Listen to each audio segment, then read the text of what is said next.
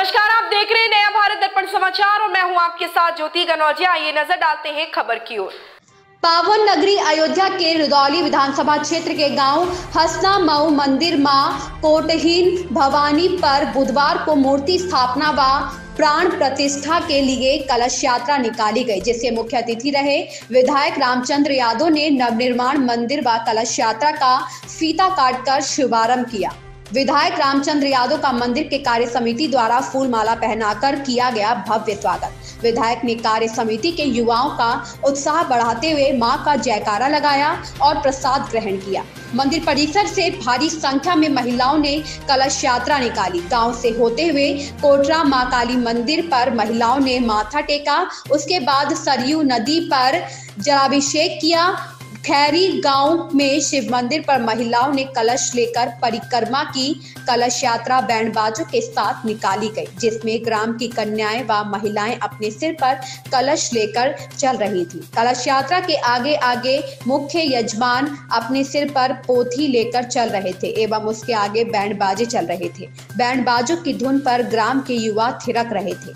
जल भराई के दौरान आचार्य अशोक मिश्रा ने वैदिक मंत्रोच्चारण से पूरा वातावरण भक्तिमय हो गया। जिला संवाददाता संदीप कुमार की रिपोर्ट। नौजवान साथियों पिता तुल्य बुज़ुर्गों और सभी मात शक्तियों को इस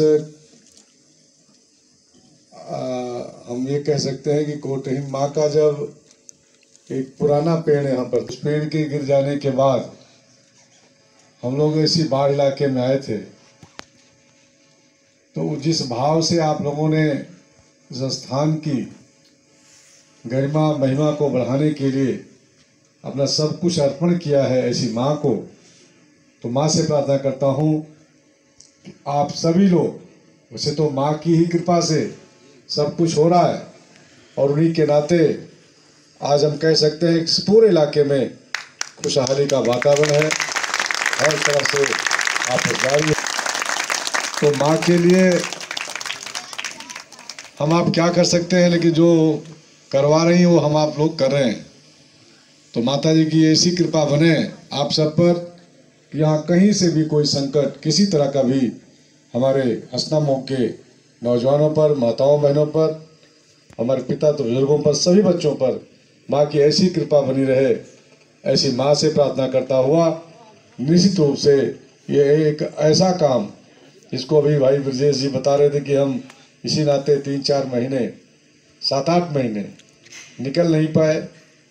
ऐसे अभी पुजारी जी जयशंकर जी मौर्य जी।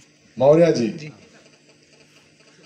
और उनकी पूरी टीम लगातार इस अब चूँकि नाम तो मेरे पास नहीं है यहाँ मंच पर जो लोग मौजूद हैं, भाई सतीश जी सहित वो जितने भी भक्त माँ के, श्रद्धालु इस स्थान की महिमा, गरिमा को बढ़ाने के लिए काम किए, जिन्होंने अपना सब कुछ तन मन धन लगा करके इस स्थान को चमकाया है, बनाया है, मैं उनका सभी का अभिनंदन करता हूँ, उनका स्वागत करता हूँ शुभकामनाएँ देता हूँ। और फिर इस माँ से प्रार्थना करता हूँ माँ हम सभी जितने भी इस प्रांगण में हैं और जो नहीं भी हैं उन पर आपकी कृपा बनी रहे ऐसी प्रार्थना करता हुआ मैं अपनी वाणी को देता हूँ राम बोलो जय श्री राम जय श्री राम जय श्री राम जय माता की जय माता की जय माता की की जय माता की। जय कोटहीन माँ की।